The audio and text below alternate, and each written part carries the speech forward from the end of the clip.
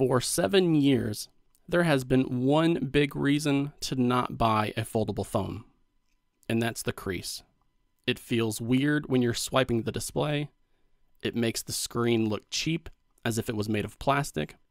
And honestly, it's annoying to have the thought pop into my head just from using it. But at CES 2026, at this very minute, Samsung is showing off its new prototype, and it looks as if the issue with the crease is actually dead. That's right. Samsung has just fixed the worst thing about foldable phones. Let's take a look. Samsung Display is so confident in this new technology, they literally set up this crease test station at their booth. On the left here, you can see the Galaxy Z Fold 7, which was released last year.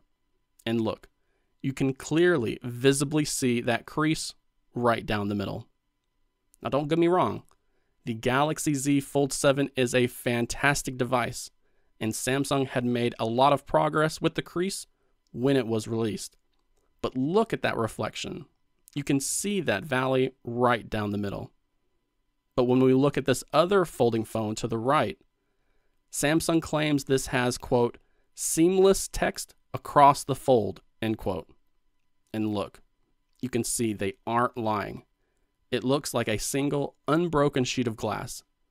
If you've been waiting for this tech to mature, this new display just might be the moment that you've been waiting for. people are already asking how did Samsung finally fix the folding crease? It's not magic, it's actually some really clever engineering. The company says the secret is underneath the screen itself, telling us the panel is using a new, quote, laser drilled metal display plate, end quote.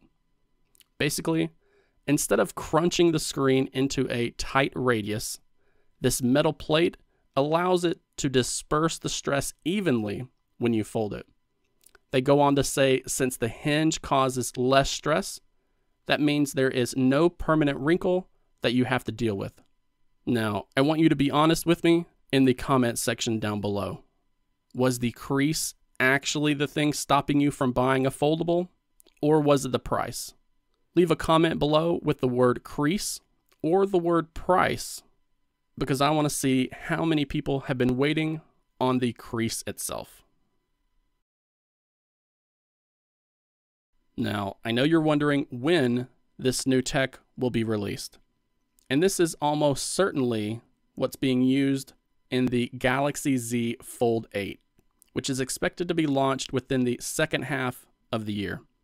That means in just a few short months, the crease era within the smartphone industry will be officially over.